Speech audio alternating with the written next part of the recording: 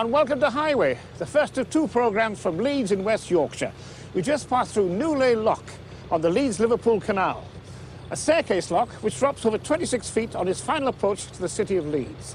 Now, if you like the gentle life, this is the transport for you, especially if you're travelling the whole length of the canal, 127 miles with 92 locks.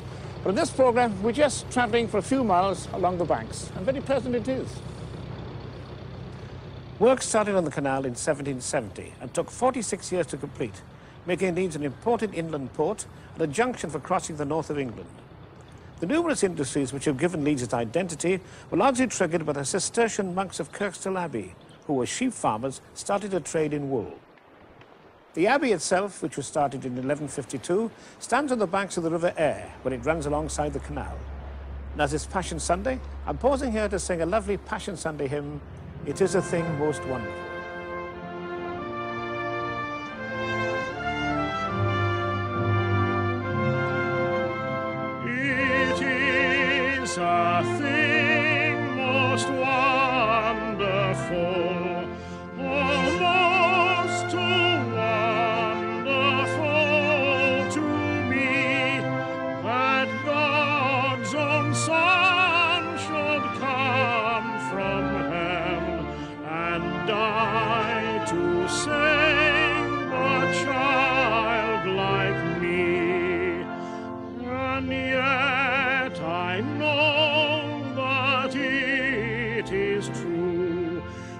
He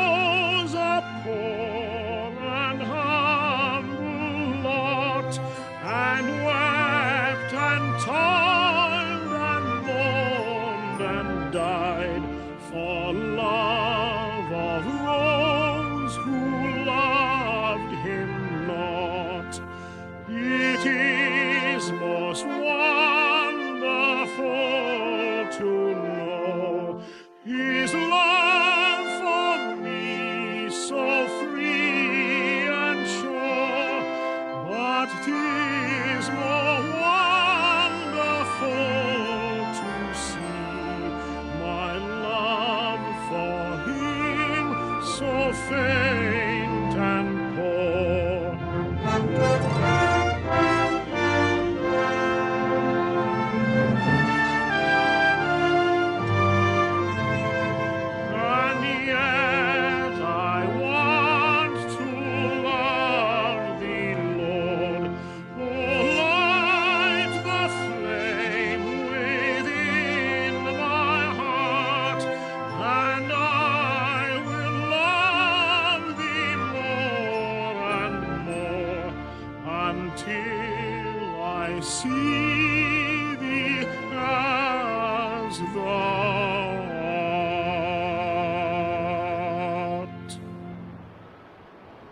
A little further downstream, and sandwiched between the River Aire and Leeds Liverpool Canal, is Armley Mills, once known as the world's largest woolen mill, and was at the heart of the industry, and now well established as an industrial museum.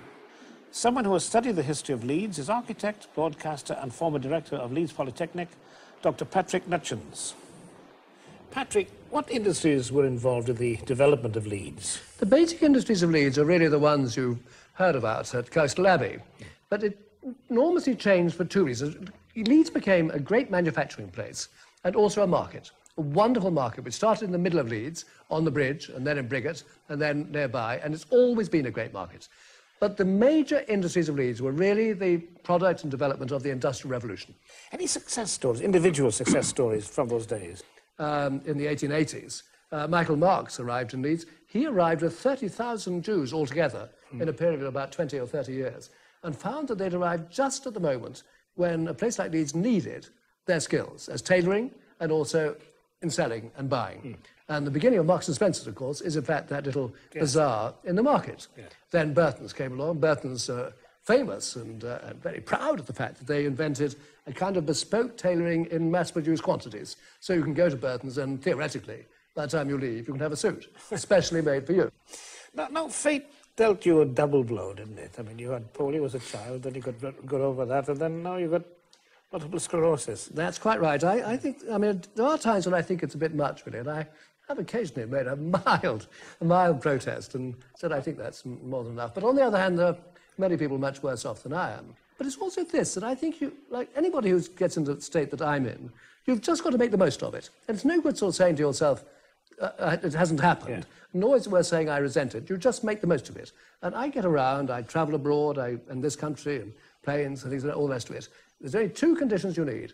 You must plan ahead, and you must get help from people. And I get wonderful help. I'm glad. Well, if you excuse me, Patrick, I have to go a little further into Armley. But I'll leave you and the viewers with the Rothwell Temperance Band playing Ravenswood.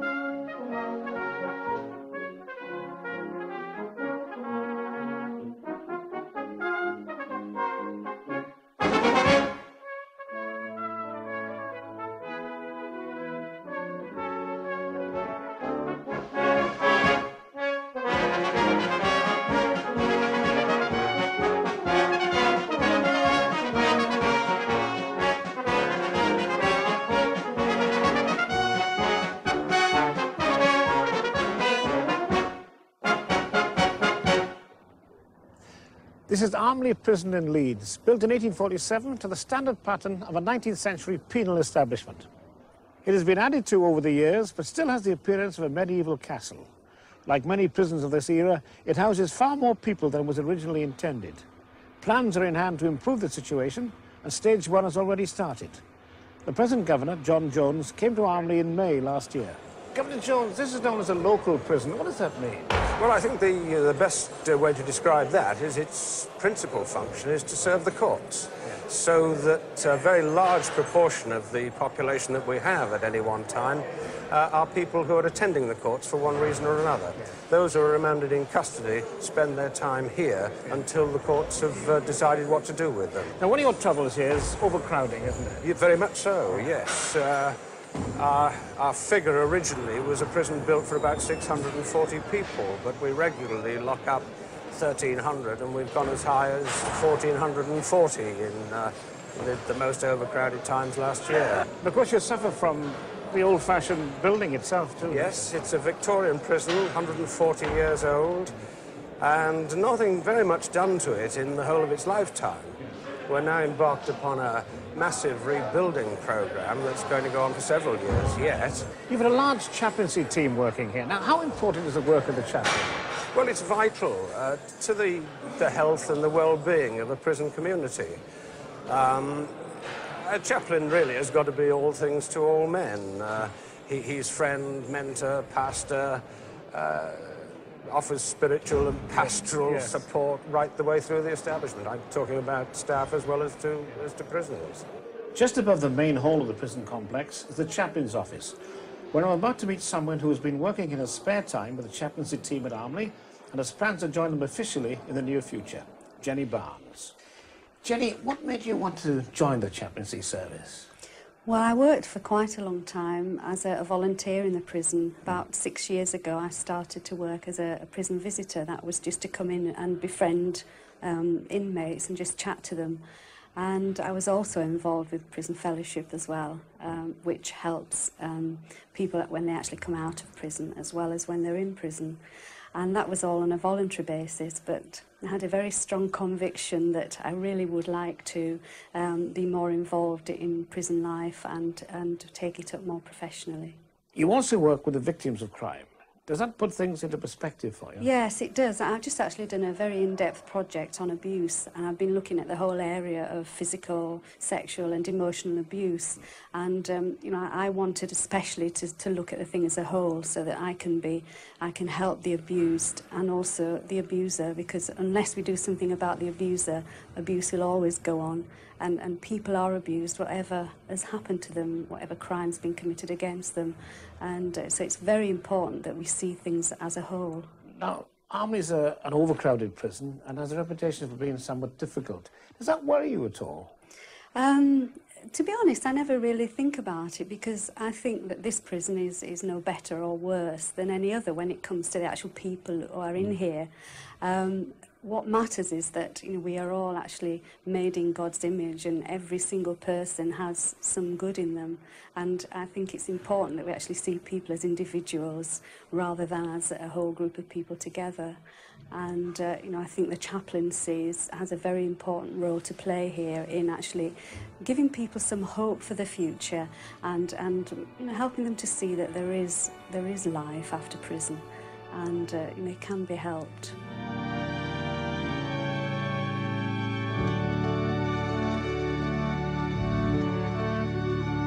O Lord my God, when I in awesome wonder consider all the worlds thy hands have made, I see the stars, I hear the rolling thunder, thy power throughout the universe displayed.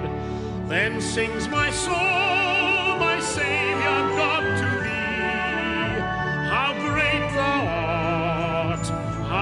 thou art. Then sings my soul, my Saviour God, to thee. How great thou art, how great thou art.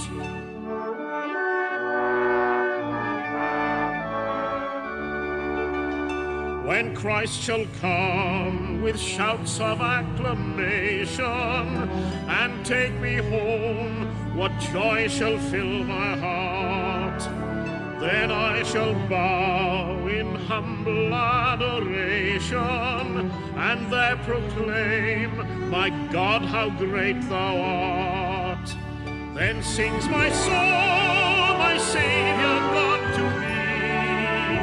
How great thou art, how great thou art. Then sings my soul,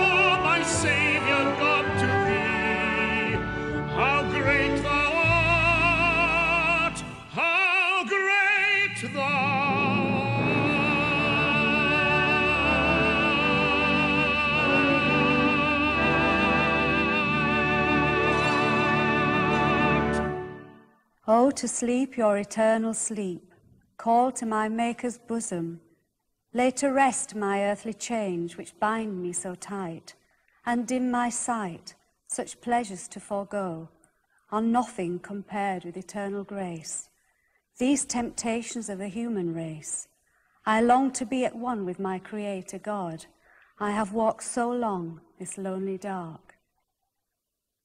In youth and childhood, belief comes easily.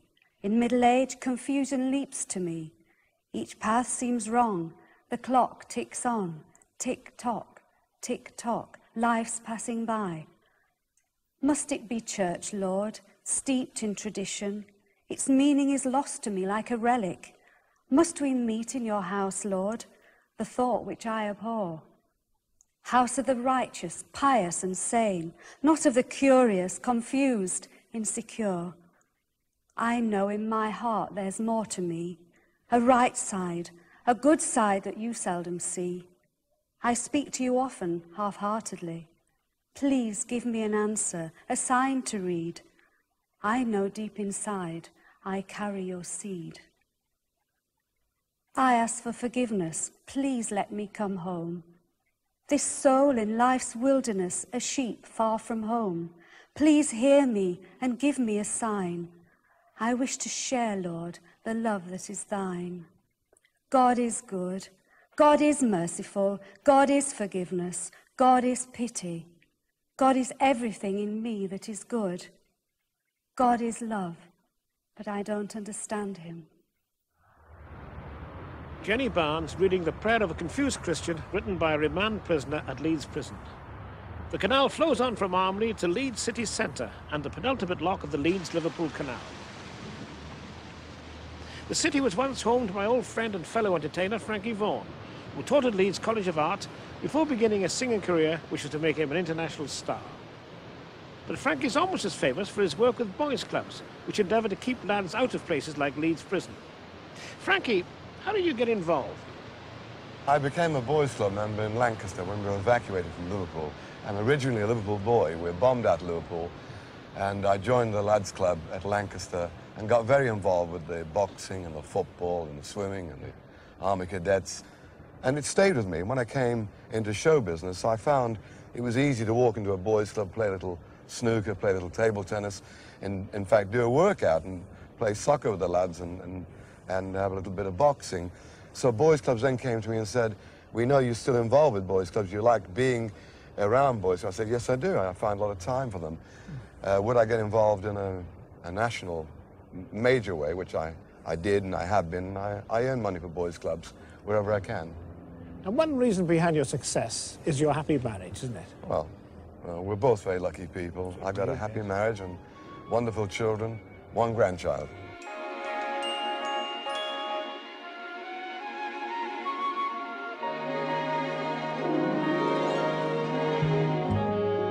Can I talk to you about children? We bring into the world with love. For you do all you can for children. But it never seems enough. And they do things that make you wonder and your heart they can sometimes break. But what's the difference to your world those children make? Can I talk to you about children? For there's something I need to know. When the time comes for them to leave you, is it hard to let them go? How will they get along without you? You ask yourself time and again. Or is the question, how will you get along without them?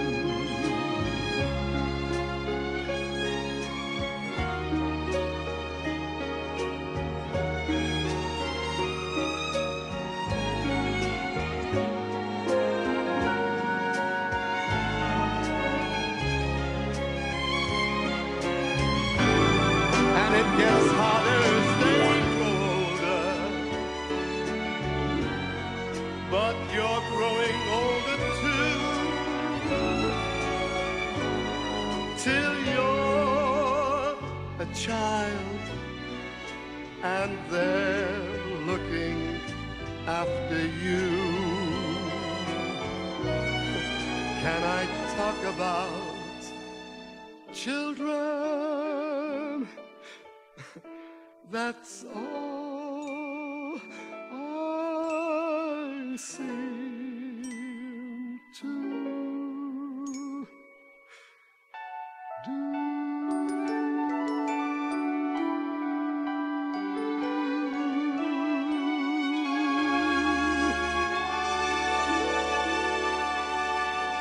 has now completed its journey into Leeds and has joined the Aire and Calder navigation. Not far from the river's edge is Leeds Parish Church, home of one of the finest choirs in the country. We're about to eavesdrop on the choir's rehearsal with the choir master, Simon Lindley. And up to Lou.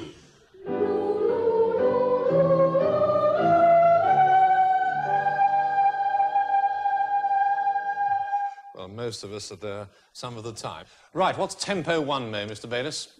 It means the uh, first tempo of the piece. Thank you very much. Bottom of ten, everybody.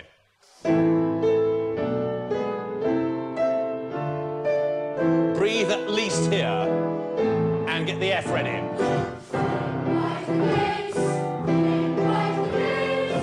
Well, that's a good point to enter.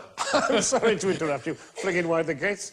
Good afternoon. Good afternoon to you. Good afternoon. Have a seat, boys, please. Oh, that's, they are polite, aren't they? They are. Hello, Simon. Nice It's to meet very you. nice to see you. Now, how long has there been a choir in the parish church here? Exactly 175 years, give or take. Great tradition, then, Yes. isn't it? Now, where, do they, the lads all come from? Well, we don't have a choir school. They come from a variety of schools in Leeds and district, about 11 or 12 different schools. And they travel, most choirs rehearse in the morning, standing up. Our Yes. choirs practice in the afternoon, sitting down, because they come every day straight from school, Monday to Thursday, and again on Friday later on at night. Nice to meet you, Simon. Very nice to meet you. And we'll get back to preparing what we're going to do. Thank you very much. Okay. Bye, lads. Right then, Gates again, bottom of page 10.